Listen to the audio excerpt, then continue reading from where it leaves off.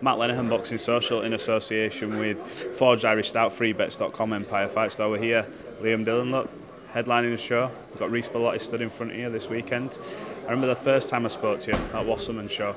At the back end, you had cameras left, right, and centre. You must have done about 50 interviews. You're lapping it up. Is this sort of that next step, that springboard you were hoping for?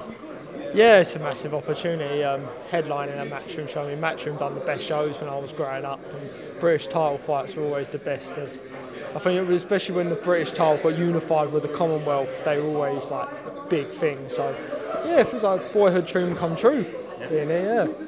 Well, look, as much as it's a dream come true, you're here to do business, and you've got, like you mentioned there, British Commonwealth, and you've got a guy like Reece Bellotti who's there in your way, who's seasoned campaigner.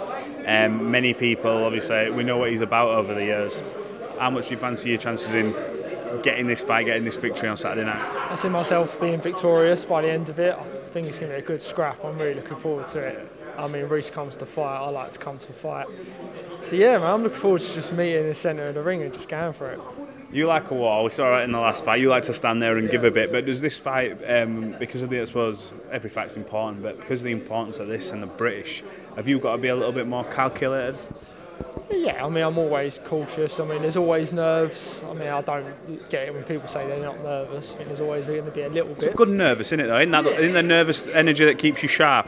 Yeah, it's just that sort of like, oh, mate. But you do get that, like, oh, I shouldn't be here sort of thing. But um, yeah, man, I'm just really. I know when that bell goes, I'm just going to be doing what I love doing in front of everyone who I want to be there on, on TV as well. I mean, yeah. I remember last time we spoke, you were like, I think you had work on Monday or something, and you're like, I've got to go back to work. Surely, if you get this fight out of the way, and this is not me saying that looking past Reece, by the way, because I'll have to say, have a conversation with him as well, but this maybe then stops the end of you working another job and then you can now kick on and really just fully focus on it. Mate, I told my employer, win, lose or draw, I'll be at work Monday. No way, no way. Yeah, you, if you win this fight, you're going back to work this Monday. This is the first fight I've ever had where I've, I've taken time off for training. For the last four weeks, I've um, been full boxing, just training three times a day.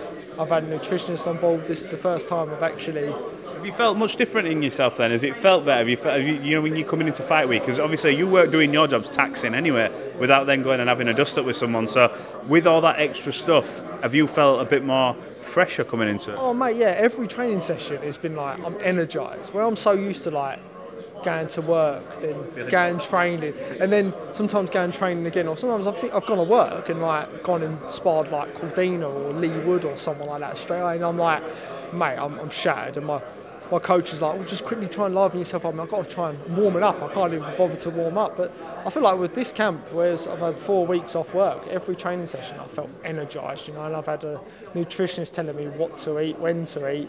I've, mate, everything's just been on point. Yeah. You mentioned your sparring there. You mentioned the likes of uh, Leigh Um, what's it like sparring these guys? Do you take away confidence from them spars, knowing that when you do get to a stage like this, that you'll be able to sort of seize that opportunity? Yeah, I mean it's just great learning, you know, especially sparring like top world champions, you know. And the fact that they're even asking me for sparring, it's just like, mate, this is a good game. I must be doing something right. Leigh, Leigh Wood obviously they're talking about a potential rematch with Josh Warrington. So can I get your opinion on that fight? If the rematch happens, I believe it's at 1:30. I think they're both quite happy about that. Um, what do you think happens? Uh, I, personally, I reckon Leigh would stop him again.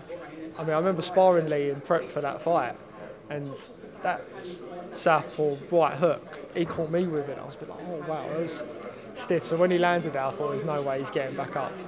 No. You got a final message to your fans um, before this weekend? You got a message to these people who are coming down to support you?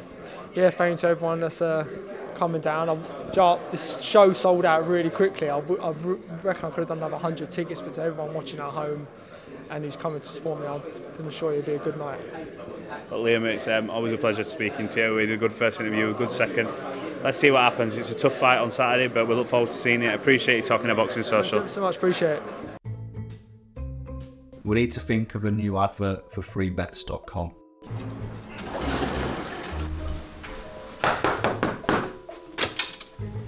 Get your best betting offers from freebets.com. Yeah, that'll do. The following deals are now live.